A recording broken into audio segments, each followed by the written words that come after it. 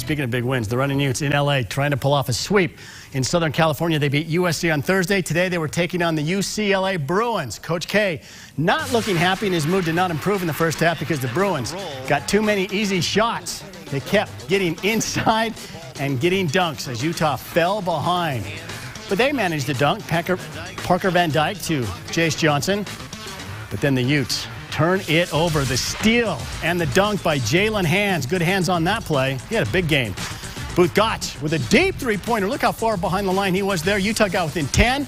But here we go again. Another lob, another dunk for the Bruins. UCLA up 49-32. They shot 69% in the first half. Second half, UCLA was still up, but Utah on the move. This is Barefield. Hits the three-pointer.